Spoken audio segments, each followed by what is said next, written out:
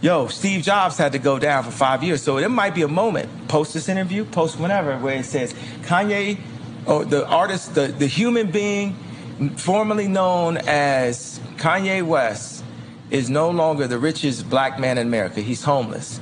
But just wait. Wait two, three, four years, and Putin, Terminator, Putin, whatever you want to call it, yay, will be back. And we're going to be Yemenator. back. Big, yeah, bigger, better, more community than ever. Because all the people that will be afraid of this don't need to be around because it's get free time.